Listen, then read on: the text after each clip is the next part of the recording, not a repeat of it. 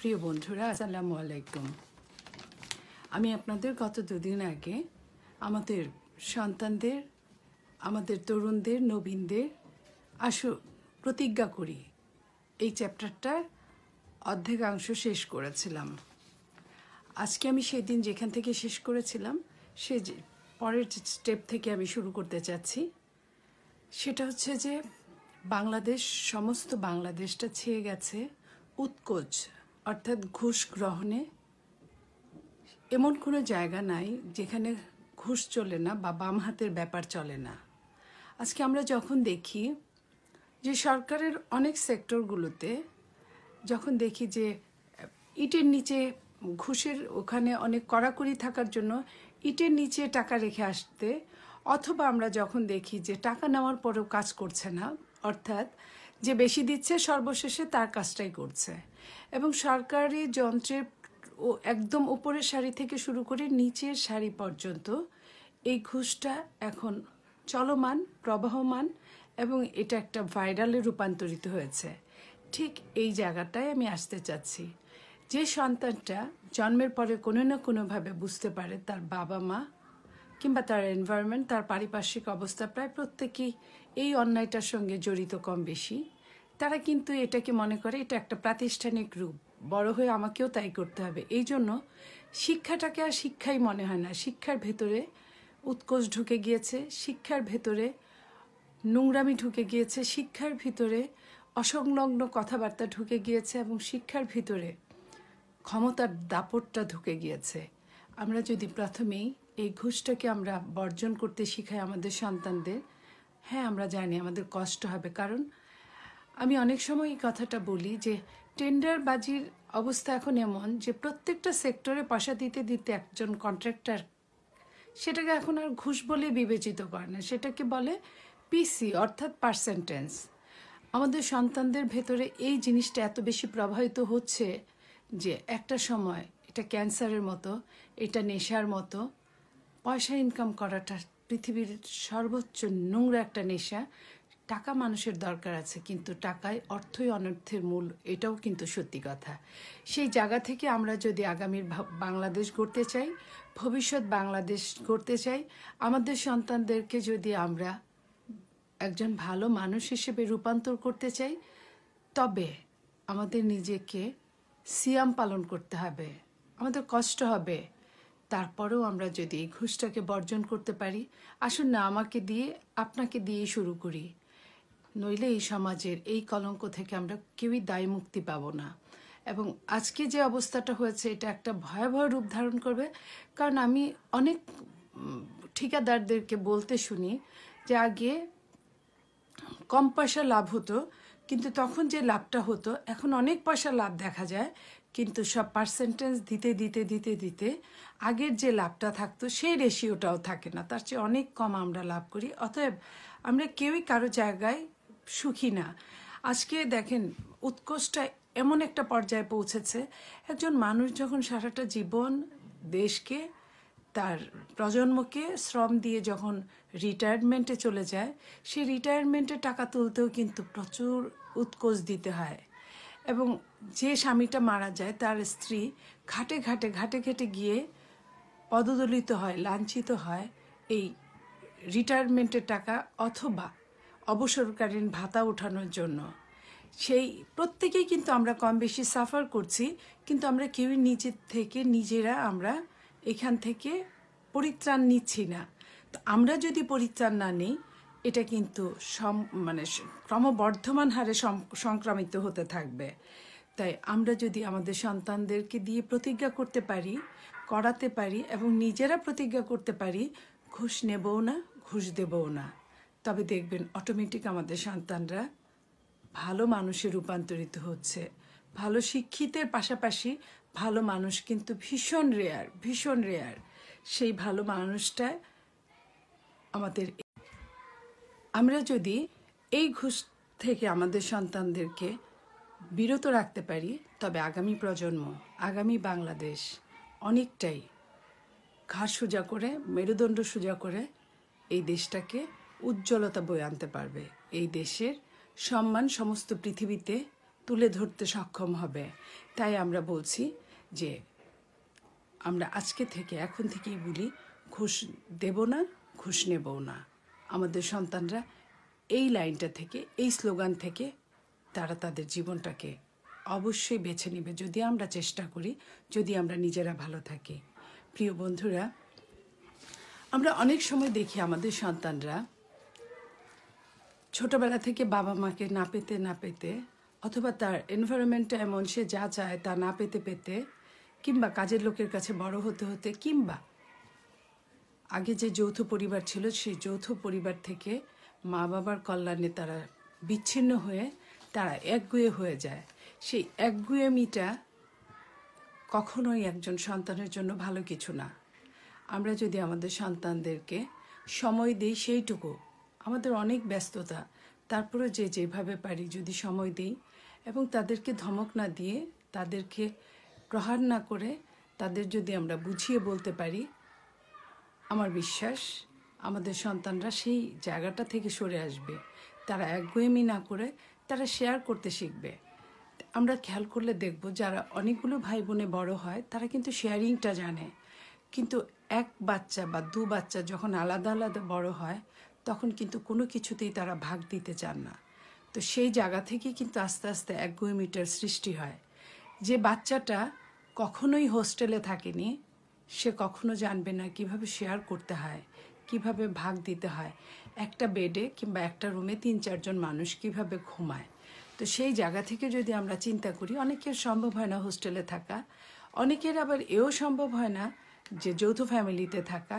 তখন এই বাবা মাকেই সেই দায়িত্বটা, মহান দায়িত্বটা কাঁধে তুলে নিতে হবে। সেই প্যারেন্টসটাকে এবং পাশাপাশি শিক্ষকদেরকেও এই দায়িত্বটা তাদের মাথায় তুলে নিতে হবে। আমাদের সন্তানরা কীভাবে মানে তাদের মনোযোগটা, তাদের একগুয়েমিটা তারা পরিহার করতে পারে, তাদের মনোযোগ দিয়ে তারা একগুয়েমিটার যে একটা খারাপ জিনিস, সেই জায়গাটা থেকে আমরা তাদেরকে চাইলেই শিখিয়ে তুলতে পারি। অপরের মতামতকে মূল্যায়ন করা, গণতন্ত্র যে কথাটা বলে যে, আমি তোমার কথা নাও মানতে পারি, কিন্তু মত প্রকাশের সুবিধা তোমার থাকবেই। সেই মত প্রকাশটা আমরা যদি স্বৈরাচারভাবে ঘরে বড় হই, আমরা যদি স্বৈরাচারের মতো সন্তানদের সাথে আচরণ করি, ওরা একটা সময় দেখবেন, ওরাও ঠিক, ওরা কিন্তু বড়দেরকে ফলো করে ওরা ওইভাবেই গড়ে উঠবে। যে বাবা বা মা আঙ্গুলি তুলে সন্তানকে শাসনে শুধুমাত্র শাসন করে, কবি যে কথাটা বলছেন, যে শাসন করা তারই সাজে, সোহাগ করে যে। সোহাগ থেকে বঞ্চিত রেখে শুধুই শাসন করে সেই বাচ্চাও কিন্তু কিছুটা বড় হয়ে তার কাজের লোকদেরকে অথবা তার নিচে যারা আছে তাদেরকেও কিন্তু শুধু শাসন করাই শিখে ডমিনেট করা শিখে।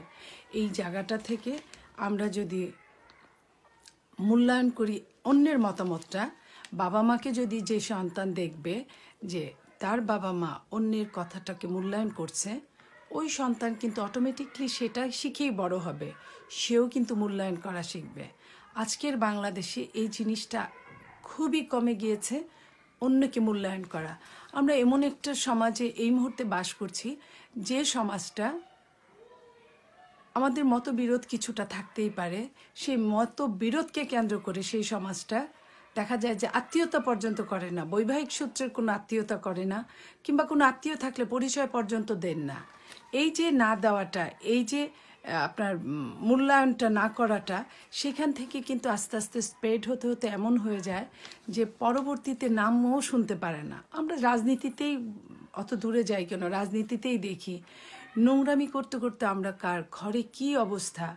প্রত্যেকটা মানুষের ব্যক্তি জীবন, ব্যক্তি চরিত্রকে চরমভাবে কলুষিত করছি। সেই জায়গাটা থেকে যদি আমরা সরে না আসি, আমাদের সন্তানরা এটা দেখলে ওরাও কিন্তু সেটা অটো শিখে যাচ্ছে। কিংবা ওরা স্কুলে, স্কুলটাকে বেছে নিচ্ছে, তারা সেখানে তাদের বন্ধুদের সাথে এইসব নিয়ে আলোচনা করছে, তারা কিন্তু ঘৃণা করছে, তারপরেও কিন্তু তারা ইউজ টু হয়ে যাচ্ছে। এই ইউজ টু থেকে তাদেরকে যদি আমরা সরাতে চাই তাহলে আমাদের নিজেদেরকে অন্যের মতামতকে অবশ্যই মূল্যায়ন করতে হবে। আজকে বাংলাদেশের আরেকটা সবচেয়ে গুরুত্বপূর্ণ যে অধ্যায়টা, আমাদের সন্তানরা নেশাগ্রস্ত হওয়াটা। এই নেশাগ্রস্ত সন্তান আজকে ঘরে ঘরে, সেটাও কিন্তু প্যারেন্টসদের সময় না দেয়া, প্যারেন্টসরা তাদের বাচ্চাদেরকে অতিরিক্ত শাসন করা কিংবা অতিরিক্ত অবমূল্যায়ন করা কিংবা অতিরিক্ত সোহাগ করা এইসব থেকে কিন্তু আজকে কিছুদিন আগে একজন পুলিশ অফিসারের মেয়ে ঐশী যে কাজটা করেছিল, আমরা দেখেছি। এই সমাজে আমি যদি সমাজ নিয়ে কথা বলি, আমি কিন্তু শুধু ঐশীকে দোষ দিতে পারি না। এতক্ষণ আমরা যে কথাগুলো বললাম, অনেকগুলো দিক কিন্তু ছিল। এই এই প্রবলেমগুলো যেটা ঐশ- ঐশীর ফ্যামিলিতে বিদ্যমান ছিল। সেইখানে যদি আমি একজন মনোবিজ্ঞানীর মাধ্যমে যদি চুলচেরা হিসাব করি, তাহলে আমি কিন্তু ঐশীর দোষীর তুলনায় তার বাবা মার কিন্তু দোষ কোনো অংশে কম নেই বরং আমি মনে করব যে অনেকটা তারা টাকার পেছনে ঘুরে কিংবা এই ওভার স্টেটাসের পিছনে ঘুরতে ঘুরতে তারা হয়তো জানেই না তার সন্তান কি অবস্থায় আছে, কেমন আছে, কোথায় গিয়েছে, তার সে অসৎ সঙ্গে মিশছে কিনা। একদিনই কিন্তু ঐশী তৈরি হয়নি। সেই জায়গায় আমরা বলতে চাই যে, এই যে নেশাগুলো, নেশা যাতে আমার সন্তান কার সাথে মিশছে, সে মানুষটা কেমন? কোন ফ্যামিলির ছেলে বা মেয়ে? তাদের আচরণ কেমন? বাচ্চাদের সাথে যদি আমি কথা না বলি, স্কুলে কি করল? কোচিংয়ে কি করল? টিউটরের সাথে কি আচরণ হলো? আমি যদি না জানি, তাহলে কিন্তু লসটা দিন শেষে আমারই। বাচ্চার লস আমার লস এবং দিন শেষে এই দেশের লস যে দেশ বসে আছে ভবিষ্যৎ প্রজন্ম জন্য। ভবিষ্যৎ প্রজন্মের মুখের দিকে তাকিয়ে আছে যে, আজকে আমার দিন যত খারাপই যাক, এই সন্তানরা আগামীতে আমাকে নিশ্চয়ই পৃথিবীতে উন্নত ভাবে তুলে ধরবে। সেখান থেকে কিন্তু আমরা বঞ্চিত হব। সেই নেশাগ্রস্ত একটা সন্তানের বাবা মা হওয়া চেয়ে নিকৃষ্ট আমার মনে হয় আর কিছু নাই। যে সন্তান নেশার জন্য তার বাবাকে মেরে ফেলে, তার মাকে অত্যাচার করে, তার মার উপর প্রহার করে এবং ঘরের জিনিসপত্র বিক্রি করা শুরু করে, সেই সন্তানকে আমি অবশ্যই বাবা মার অবহেলা, বাবা মার না বুঝা ছাড়া আমি আর কিছুই মনে করতে পারি না। এবং তাদেরকে যতটা তাদের শাসনের দরকার, তার চেয়ে অনেক বেশি তাদের মেন্টাল সাপোর্টের দরকার। সেই সাপোর্ট এই দেশ, অনেক দেশ আছে যেখানে সরকার নিজে দায়িত্ব তুলে নেয়। আমাদের সরকার যখন মৌলিক চাহিদাগুলোই মেটাতে পারে না বা হিমশিম খায়, সেখানে এই চাহিদাগুলো বাবা মাকেই মেটাতে হবে। কারণ এই দেশের সন্তানদের রাষ্ট্র এখনও ওইভাবে অন্য বস্ত্র, বাসস্থান, শিক্ষা এইসবের তেমন কোনো গুরুত্ব দেন না বললেই চলে। সো এখানেও আমি চাই বা না চাই আমরা কিন্তু পরোক্ষভাবে বা প্রত্যক্ষভাবে বাবা মারাই এখানে দায়ী থাকছি। এবং এই সঙ্গে আরেকটা কথা বলছি, যে ছেলে বা মেয়েটা উচ্ছন্নে যাচ্ছে, সে ছেলে মেয়ের কাছে কিন্তু সমাজে আরেকটা চরম অপরাধ জগৎ, সেটা হচ্ছে ইফটিজিং একটা ছেলে, একটা তরুণ বা তরুণী তরুণী এখানে বেশি আমি বলব, যে কিনা তার বোনকে এক দৃষ্টিতে দেখছে, আর বোনের ফ্রেন্ডদের আরেক দৃষ্টিতে দেখছে। সে কিনা ঘরের মেয়েদেরকে এক দৃষ্টিতে দেখছে আর রাস্তার মেয়েদেরকে যে রাস্তায় যেসব মেয়েরা চলাফেরা করছে, স্কুলে যাচ্ছে, তাদেরকে অন্য দৃষ্টিতে দেখছে। এটা কিন্তু, এই শিক্ষাটা কিন্তু পরিবার থেকেই হয়। এইখানে কিন্তু আমি বলছি আবারও, আমরা মা বাবারা যদি চাই, আমরা অনেক কিছু করতে পারি হ্যাঁ? অনেক কিছু করতে চেষ্টা করার পরেও যে শত হাজারে একজন দুজন উচ্ছনে যাবে না, আমি তা বলছি না। কিন্তু আমি ম্যাক্সিমাম নিয়ে কথা বলছি। এই ম্যাক্সিমাম নিয়ে কথা বলতে গিয়ে আমি বোঝাতে চাচ্ছি যে একজন মা যখন আরেকজন নারীকে মূল্যায়ন করতে জানা, জানবে, তার সন্তানকে জানাবে, সম্মান করতে জানাবে, তার ফ্যামিলির পরিবারের মেম্বারদেরকে সম্মান করতে জানবে, একজন বাবা যখন নারীদেরকে সম্মান করবে, তখন কিন্তু ওই সন্তানটা, ছেলেটা সে সম্মানটাই শিখে উঠবে। যে ঘরে সারাদিন যুদ্ধ হয়, ঝগড়া হয়, মারামারি হয়, কিংবা মেয়েদেরকে খুবই হীনমন্যতায় দেখা হয় খুব নিচু আকারে দেখা হয়। সেই সেই পরিবারটার সন্তানরা, তারা কিন্তু বাইরেও ওই দৃষ্টিভঙ্গিতেই সবাইকে বিবেচনা করে এবং তার দৃষ্টিভঙ্গি এটা এক ধরনের অসুস্থতা। সেই অসুস্থতা থেকে পরিত্রাণের জন্য আমাদের আবারও মা বাবার মুখাপেক্ষী হতে হচ্ছে। মা বাবারা চাইলেই সন্তানকে আমরা ওইভাবে মাইন্ডসেটটা তৈরি করে দিতে পারি। এখানে মাইন্ডসেট একটা বিশাল ভূমিকা পালন করে। ছোট্ট বাচ্চা ছেলে থেকে আমরা যদি মাইন্ডসেটটা ওইভাবে তাদের তৈরি করি, তাহলে কিন্তু ওই ছেলেটা বড় হয়ে যে কোনো মেয়েকে সম্মান করতে শিখবে। আমরা যদি উন্নত দেশগুলোর দিকে তাকাই, যেখানে ফ্রি মিক্সিম কোনো ব্যাপারই না, সেখানেও কিন্তু নারীর সম্মানটা আলাদা জিনিস। কারও কারও অনুমতি ছাড়া তার দিকে কুদৃষ্টিতে তাকানো বা অসম্মান করা, সেটা কিন্তু চরমভাবে বিচার বিভাগের সম্মুখীন হতে হয় সেই মানুষগুলোকে। এবং সেখানে আইনের শাসন আছে বলেই তারা কিন্তু আর যাই হোক ওই কাজগুলো থেকে বিরত থাকে। এখানে আমি বলব, বাংলাদেশে অনেক আইন আছে, কিন্তু আইনের শাসন বর্তমান নাই। বাংলাদেশে অনেক বাবা মাই আছেন যারা কিনা অতি শাসন করেন কিংবা অতি আদর করেন কিংবা এই জায়গাগুলোকে তারা চিন্তাই করতে চান না। একটা সন্তান উৎপাদন মানেই মনে করা হয় যে, সন্তান, সে তো আল্লাহর দান, এটা হয়ে গেছে, সে একা একাই মানুষ হবে, বড় হবে। একা একা বড় হয় বা মানুষ হয়, সেটা কিন্তু মিরাকেল সেটা লাখে, কোটিতে, হাজারে একটা। কিন্তু আমরা যা করতে পারি, সেটা হলো আমরা যে পরিবেশটা তাদেরকে দিব, তারা কিন্তু ওই পরিবেশেই তারা বড় হয়ে উঠবে। আমি অনেক বাবা মাকে দেখি যে কোনো একটা রাগ, দুঃখ, বিশেষ করে রাজনীতিতে তো আছেই, রাজনীতির বাইরেও। সমাজটা এখন এতটাই কুলসিত হয়ে গেছে সব কিছুকেই রাজনীতির বিবেচনায় দেখা হয়। সে বাবা মারা ক্ষমা সুন্দর দৃষ্টি কাকে বলে সেটাই বুঝে না, সেটা মানতে চান না।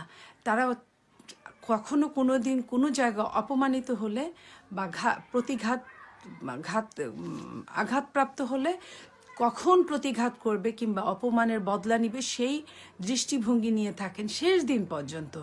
ক্ষমা কাকে বলে তারা ভুলেই গেছে। যে পর্যন্ত বাবা মা ক্ষমা সুন্দর দৃষ্টিতে না দেখবে সমাজটাকে, সেই সন্তান কিন্তু যে বাবা মাকে এইভাবে ক্ষুব্ধ হতে দেখবে, হিংসাত্মক হতে দেখবে, অহংকারী হতে দেখবে সেই সন্তান কিন্তু, আবারও বলছি, ক্রমবর্ধমান হারে বাবা মার চেয়ে সে বেশি করবে, সে বেশি হিংসাত্মক হবে, সে বেশি মারামারিতে অন্তর্ভুক্ত হবে, সে বেশি, আরও বেশি অহংকারী হবে। এই জায়গাগুলোতে অবশ্যই আমাদের ক্ষমা সুন্দর হতে হবে। কারণ আমরা বিশ্বাস করি, এই পৃথিবীতে আমরা যেদিন জন্মেছি, সেদিন থেকেই আমাদের কাউন্ট শুরু হয়েছে, আমরা একদিন চলে যাব এবং যাওয়ার সময় আমরা কিছুই হাতে করে নিয়ে যাব না। আলেকজান্ডার দ্য গ্রেট, বত্রিশ বছর বয়সে সমস্ত বিশ্ব জয় করে, উনি দুরারোগ্য ব্যাধিতে আক্রান্ত হয়ে উনি যখন মৃত্যুমুখে পতিত হয়েছেন, উনি ওনার মন্ত্রিসভা বর্গদের সভাসদ বর্গদের ডেকে বলেছেন, আমি মারা গেলে আমার দুই হাত প্রসারিত করে রাখবে। তো যখন ওনারা জানতে চাইলেন যে কেন, তখন বললেন যে, আমি আলেকজান্ডার দ্য গ্রেট। আমি মৃত্যুর পরে খালি হাতে এই পৃথিবী থেকে চলে গেলাম। এটাই পৃথিবীর মানুষ দেখুক। এই যে এত কিছু, এই যে পৃথিবী জয় করা, তারপরেও কিন্তু খালি হাতেই চলে যেতে হয়। সেই জায়গায় যদি আমরা চিন্তা করি, আমরা যারা বাবা মা, আমরা যারা শিক্ষক, আমরা যারা প্যারেন্টস আমরা যদি চিন্তা করি, আমাদের চিন্তাধারাটা কিন্তু প্রবাহিত হবে আমাদের সন্তানদের উপরে, প্রসারিত হবে আমাদের সন্তানদের উপরে। সেই জায়গা থেকে আমরা মনে করি, অবশ্যই আমাদের ক্ষমাশীল হওয়া দরকার। কারণ এই পৃথিবীতে আমাদের সবই রেখে যাব আমাদের পরবর্তী প্রজন্মের জন্য। পরবর্তী প্রজন্ম রেখে যাবে তার পরবর্তী প্রজন্মদের জন্য। পৃথিবীর সৃষ্টির ইতিহাস এভাবেই শুরু হয়েছে। সেই জায়গা থেকে আমি বলতে চাই যে আমরা অবশ্যই অবশ্যই ক্ষমাশীল হব। যখন যার হাতে ক্ষমতা থাকবে, আমরা সেই ক্ষমতা সদ্ব্যবহার করার চেষ্টা করব। ক্ষমতা কিন্তু কখনোই চিরস্থায়ী না। ক্ষম, ক্ষমা না করলে ক্ষমতা টোডে টুমোরো আমাদের হাত থেকে একদিন চলেই যাবে সেদিন কিন্তু আমিও প্রতিহিংসার শিকার হব। সেই জায়গায় আমি বলব যে এখানে যদি আমরা দায়িত্ব পালন করি এখানে যদি আমরা উম, আ- ক্ষমা সুন্দর দৃষ্টিভঙ্গি অ্যাপ্লাই করি মাইন্ডসেট করি এবং এখানে যদি আমরা ক্ষমতাকে সুন্দরভাবে সুষ্ঠুভাবে কাজে লাগাই আমাদের সন্তানরা অবশ্যই আমাদের এই নীতিগুলোকে স্যালুট করবে। আমরা চাই, আমরাও একদিন চলে যাব এবং খুব বেশি দেরি না হয়তোবা। সেদিনও আজকের মতো সব কিছুই এইভাবেই চলবে। তারপরও আমাদের এই কথাগুলো আমাদের সন্তানরা যাতে মনে রাখে, যদি তারা লজ্জা না পায় যে তাদের বাবা মার কাছ থেকে তারা ভালো কিছু শিখতে পারেনি, আসুন না, আমরা চেষ্টা করি। সবাই ভালো থাকবেন। সবাইকে ধন্যবাদ। বাংলাদেশ জিন্দাবাদ।